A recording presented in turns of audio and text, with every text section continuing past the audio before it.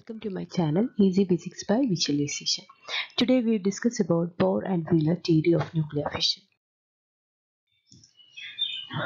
Bohr and Wheeler successfully explained the phenomena of nuclear fission on liquid drop model.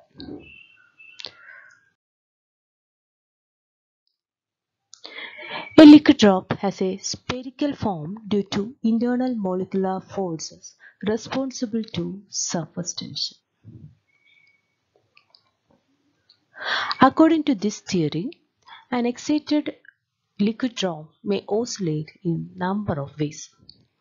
On applying large external force, the shape may be changed into ellipsoidal.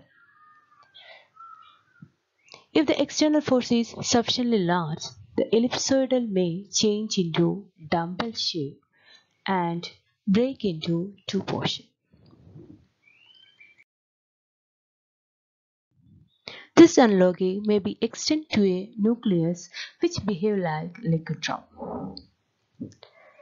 When the nucleus absorbs a neutron,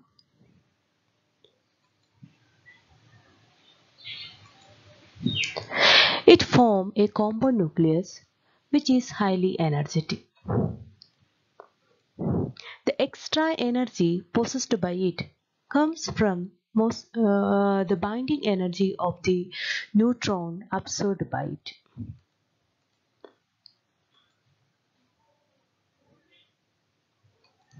The extra energy may be set up a series of rapid oscillation in the spherical compound nucleus.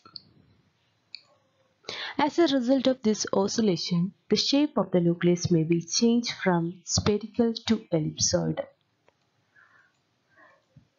If the extra energy is large, oscillation may be so violent um, reach critical stage. The nucleus is now dumbbell shaped.